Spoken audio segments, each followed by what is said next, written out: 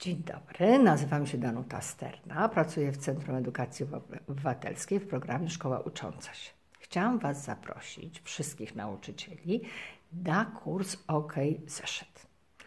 Mamy już czwartą edycję tego kursu i właśnie jestem po analizie ewaluacji trzeciej edycji.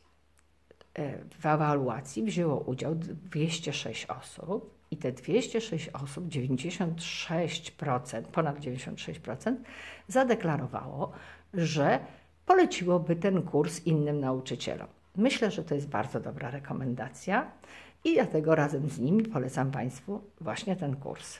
Wydawałoby się, że ten kurs jest już naprawdę bardzo dobry, ale na, nadal postanowiliśmy go doskonalić i w tym roku dołożymy takie samotesty po każdym module, abyście się mogli zorientować, czy nauczyliście się tego, czego powinniście się nauczyć i czego chcieliście się nauczyć.